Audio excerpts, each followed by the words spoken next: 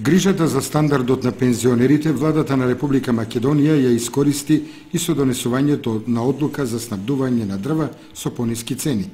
Намалувањето на цената на дрвата е договорено со јавното предпријатие Македонски шуми и тоа за 10% по кубен метар дрва за сите заинтересирани лица и 20% за социјално загрозените граѓани.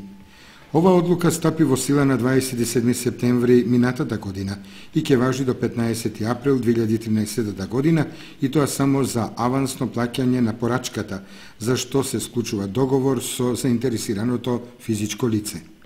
Предпријатието Македонски шуми исто така дава попуст за заинтересираните пензионери, доколку барањата ги доставуваат преку здруженијата, кои пак склучуваат договор за плаќање на рати, за што добиваат попуст во висина на рабатот кој го одредува управниот одбор на предпријатието еднаш годишно.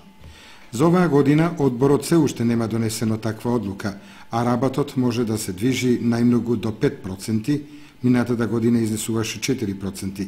Принципот за намалување на цената со авансно плаќање исто така важи и за Сдруженијата на пензионери, доколку се подготвени тоа да го направат. Од Сдруженијето на пензионери од Кочани неофицијално дознаваме дека запишувањето за огрено дрво за пензионерите ќе започне да се врши од 1 февруари